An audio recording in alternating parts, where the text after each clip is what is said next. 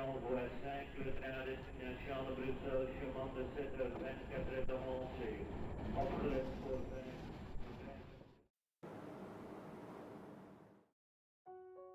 Ce qui fait la beauté d'une ville, ce n'est ni sa géographie, ni sa démographie, ni sa localisation.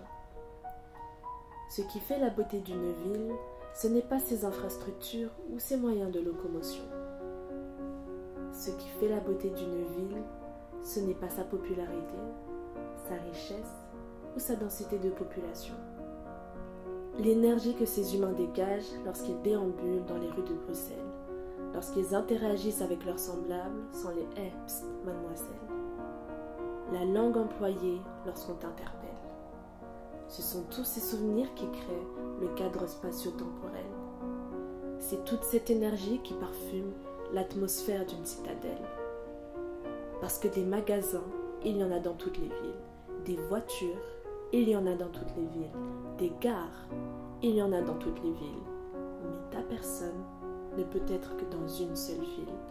Et c'est toi, toi, toi et toi qui permet que cet endroit soit mon domicile.